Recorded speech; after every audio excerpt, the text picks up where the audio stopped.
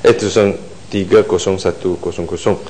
um, pertama sekali saya ingin mengucapkan tahniah kepada kementerian atas berjayanya uh, mencapai satu persetujuan uh, perjanjian komprehensif bangsa Moro di uh, uh, yang dibantu dengan dengan uh, apa tu sumbangan usaha uh, kerajaan Malaysia yang telah uh, memberi harapan uh, sempadan uh, negara kita um, di selatan Filipin dengan Sabah dapat mencapai pendamaian. Saya ini ucapkan tahniah kepada pegawai-pegawai dan semua yang telah menyumbang dalam proses ini. Um, pada masa yang sama, uh, dalam perjanjian itu juga menyatakan uh, untuk menguat kuasa perjanjian komprehensif ini perlukan pemantauan antarabangsa. Saya ingin dapat penjelasan dari pen, uh, kementerian apa uh, peranan Malaysia dan juga bukan saja kerajaan tetapi badan-badan bukan kerajaan peranan mereka dalam pemantauan uh, enforcement of the comprehensive peace agreement termasuk uh, semasa pilihan raya yang akan diadakan untuk uh, zon-zon otonomi yang telah akan diwujudkan di bawah perjanjian ini. Saya juga ingin ingatkan semula uh, uh, kementerian dan juga uh, kerajaan Malaysia bahawa sebenarnya ini bukan kali pertama kita telah berjaya untuk um, membantu mencapai uh, satu Boleh. perjanjian. Nanti saya ya. habis juga perjanjian uh, damai untuk kumpulan uh, pemberontak Filipin Selatan pada tahun 1996 uh, kita telah berjaya untuk uh, mendamaikan uh, ML MNLF iaitu uh, kumpulan uh, Moro National Liberation Fund. Kini kita telah uh, membantu MILF so harap uh, tetapi kita juga ingin pastikan uh, kegagalan yang pertama ini tidak diulang bagi saya uh, okey bagi. Terima kasih Datuk Pengurusi uh, Terima kasih Pengurusi uh, Terima kasih sahabat saya daripada Batu kerana menimbulkan soal uh, um, comprehensive agreement antara kerajaan Filipina dengan uh, bangsa Moro di selatan Filipina. Dan uh, saya kagum uh, atas uh, ucapan sahabat saya dari Batu yang memberi tahniah kepada pegawai-pegawai uh, kita yang menerajui uh, sehingga perjanjian komprehensif di antara IMF dengan kerajaan Filipina ini yang diteraju oleh Yang Amat Berhormat Perdana Menteri. Tanya saya pun setuju dengan beliau. Tetapi apa yang dikatakan oleh beliau itu amat selit sikit sebab pada satu ketika beliau batu ini pernah pernah menyatakan uh, pencerobohan di Tandua itu drama uh, belum sampai jadi saya minta uh, pendapat ya. dan pendirian uh, uh, yang berhormat ini betul atau tidak yang dikatakan apa yang berlaku di Tandua pada satu ketika itu se menteri ini ini drama. Tidak Jadi saya maksudnya. minta penjelasan dari okay, Patu okay. ni. Uh, saya yang, belum sampai. Saya belum sampai ke sana. Yang betul-betul setuju dengan usaha kerajaan Malaysia. Ini niat jahat kalau tidak tidak percaya pada ucapan saya.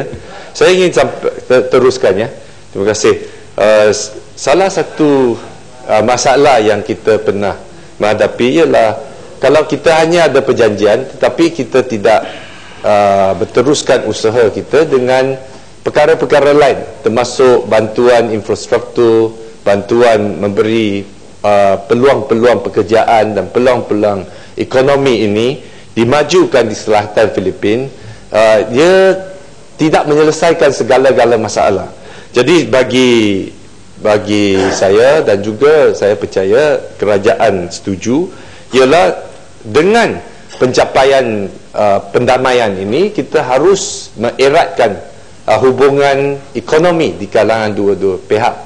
Lagi dari itu saya juga, saya hanya ingin ingatkan satu perkara yang pernah uh, wujud uh, meng, men, melibatkan kontroversi di antara Malaysia dan Filipin iaitu kes Amalilio uh, kalau kita ingin kembali untuk memberi keyakinan kepada uh, business misters di selatan Filipin dan juga kerajaan uh, Filipin bahawa kita akan bekerjasama dalam isu uh, hubungan ekonomi ini. Saya ingin dapat tahu apa pendirian kementerian kerana Filipin telah secara rasmi menuntut supaya Amalilio seorang businessman yang memegang uh, dikatakan Malaysia Malaysia memegang satu pasport palsu uh, yang telah dipenjara di Malaysia uh, melibatkan satu kes penipuan di Filipin dan menunggu untuk dibicarakan dan beratus ribu uh, pelabur-pelabur tunggu justice dan tunggu untuk mendapat balik wang yang mereka laburkan. Saya saya ingin dapat penjelasan atas isu ini kerana dia ada implikasi jangka panjang untuk kerjasama ekonomi di uh, di antara Filipin dan uh, kerajaan Malaysia. Dengan itu saya juga harap kita dalam uh, kementerian mengambil satu uh, langkah yang lebih uh, lebih tegas dalam isu pasport ini. Sebab isu Amalilio itu juga melibatkan pasport palsu. Seolah-olah Malaysia ini dengan sempadan ini kita tidak dapat mengawal dengan baik pasport palsu itu. Saya ini sedikit sebanyak juga uh, melibatkan sempadan kita. Kalau Amalilio masuk ke Malaysia dia boleh gunakan pasport palsu dia ditangkap pasport palsu dan ini mirip dengan apa yang berlaku dalam MH370 di mana kita kata mereka masuk dengan pasport palsu yang dibawa daripada Itali kalau itu betul Itali dan Austria. Kalau itu betul maksudnya seseorang itu tipu ambil pasport palsu di Thailand dia keluar. Sudah sudah tentu dia keluar dengan pasport Iran. Dia masuk ke Malaysia dia gunakan pasport Austria dan uh, Italy. Adakah kemungkinan boleh ke atas usaha kementerian untuk cek semula kalau dia keluar dari Thailand menggunakan pasport Iran? Bolehkah kita ada satu database untuk cek semula? Bila dia masuk sudah tentu dia kena pakai pasport yang sama untuk mengelakkan teroris atau kumpulan yang cuba mendapat asylum apa-apa pun tujuan yang bermotif uh, jenayah ini boleh dielakkan.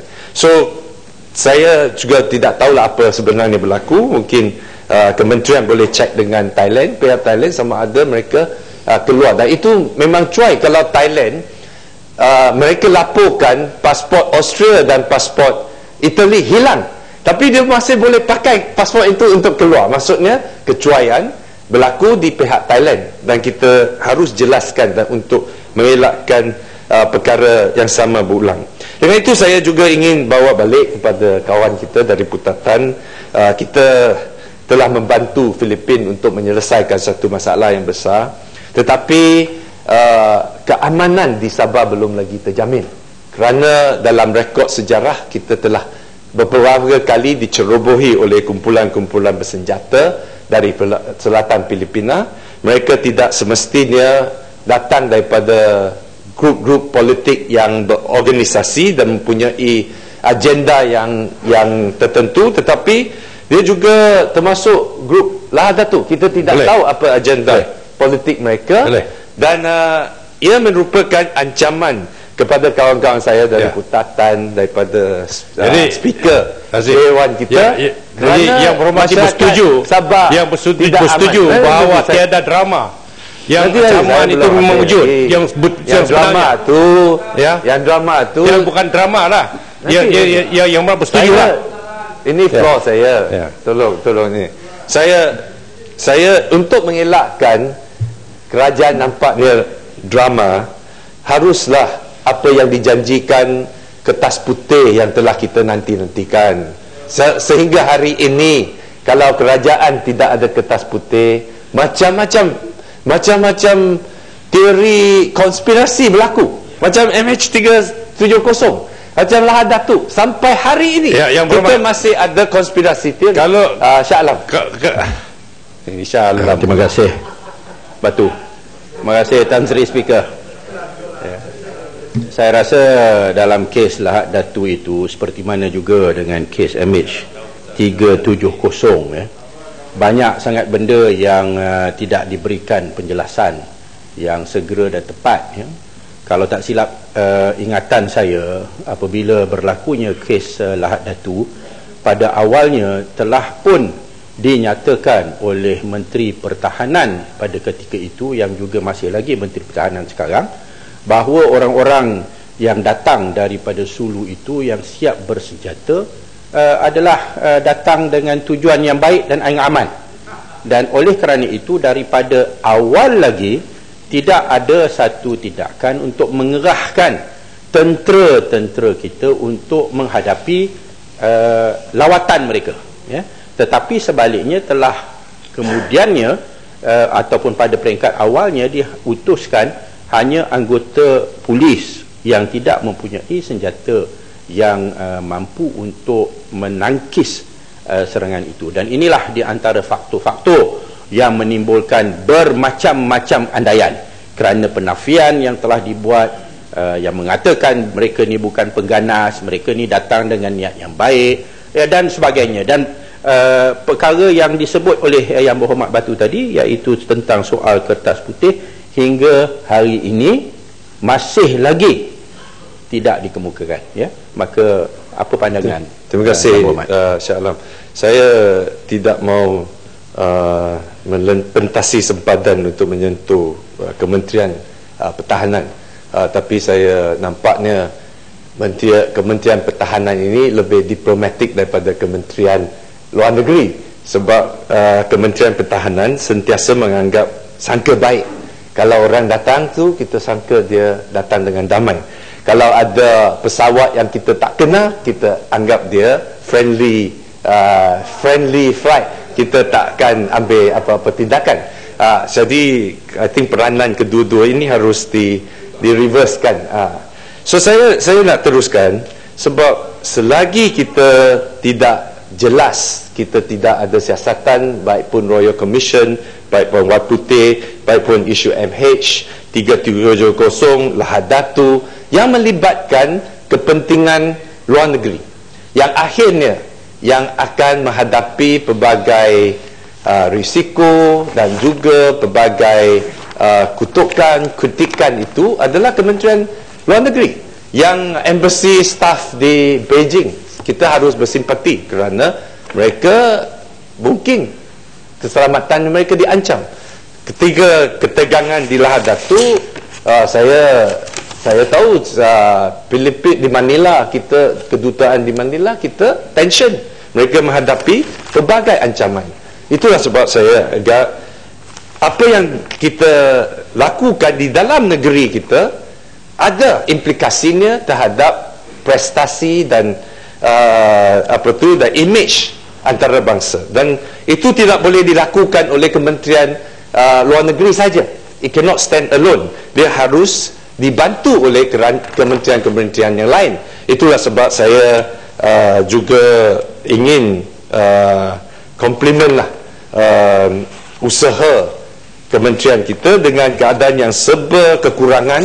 Mereka tidak ada fakta mereka tidak ada bantuan daripada Uh, pihak-pihak yang lain mereka terpaksa melakukan sesuatu yang angkat impossible untuk untuk defend kita punya uh, national standing itulah sebab ini bukan tujuan untuk kementerian tetapi untuk uh, kerajaan secara keseluruhan Betul. saya ingin Betul akhiri keputusan sangat ejen ya, ya, sebab ya. saya tak mau panjangkan dulu uh, saya nak last point landing lah sudah landing ya.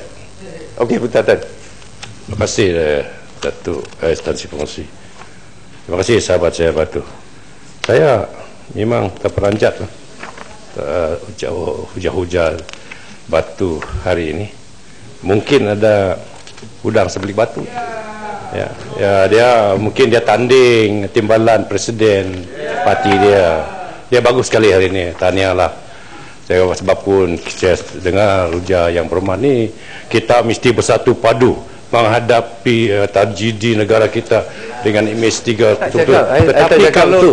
kalau awal waktu ayat-ayat yang saya tak ba- ba- sebut. waktu pilihan kecil di Kajang tu macam seolah-olah menggasak no, sama kerajaan. Straight to your point. Ya, Apa yang kita kalau nak tidak ada uh, PKR mungkin kita aman. Baik, se- sekarang jadi kita tak saya haraplah teruskanlah hujah yang baik ni ke Apa kepada soalannya? kerajaan dan sokong kepada kerajaan kita satu padu satu negara Tak, tak, saya satu tak bangsa sebut. Saya tak sebut yang menghadapi ini. tragedi seperti Okey, ini okey, okey. dan saya Okey, suka okey. mendengar Okey.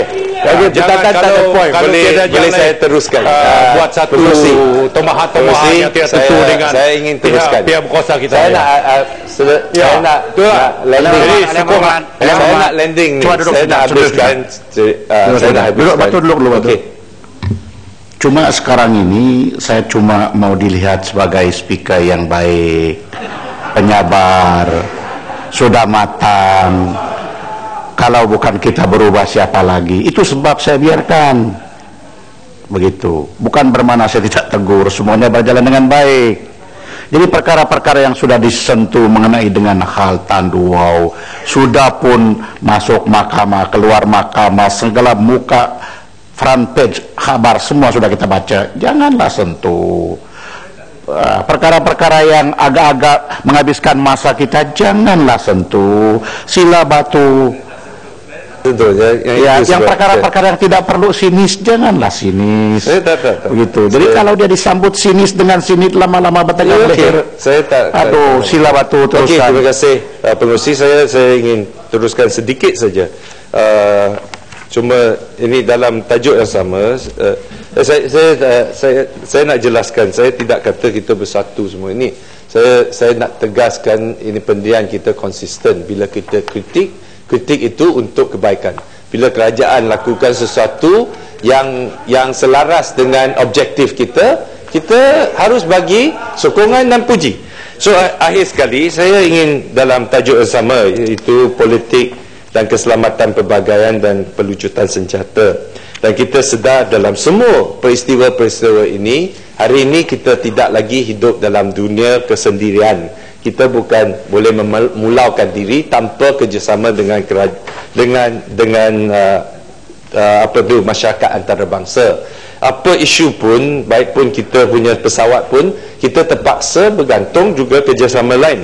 Itulah sebab saya ingin uh, tekankan sekali lagi, Malaysia harus uh, mempercepatkan untuk menandatangani pelbagai perjanjian supaya kita boleh uh, live up to the world standard baik pun perjanjian perdagangan atau tidak. Itu isu yang saya ingin sentuh akhirnya ialah apa terjadi dengan Roman status yang kita telah memberi komitmen untuk uh, menerima uh, dan saya juga kita dikunjungi dua kali oleh oleh uh, ketua hakim uh, apa tu International Court of Justice dan juga International Tribunal of uh, uh, Criminal uh, Court uh, silap sorry right, uh, itu. Saya tidak terjelas International Criminal Court yang ber, uh, berpengkalan di The Hague. Saya ingin dapat tahu uh, statusnya bila kita akan uh, rectify perjanjian ini. Dan ini sangat penting kerana uh, kita kalau kita nak capai objektif untuk pelucutan senjata kita telah berusaha di selatan Filipin. Kita tengah uh, mungkin melibatkan diri dalam selatan Thailand. Nah sekarang Myanmar ada tuntutan uh, dan kita juga uh, prihatin atas uh, pelanggaran hak asasi manusia di Mesir. Sekalau kita sendiri yang memainkan peranan tetapi tidak sign tidak tanda tangan uh, perjanjian Roman status ini itu nampaknya kita tidak konsisten. Sekian terima kasih. Terima kasih kepada pengurusi Terima kasih Tan Sri Putua. Saya ringkas saja hanya menuju kepada tajuk kepada maksud B13 iaitu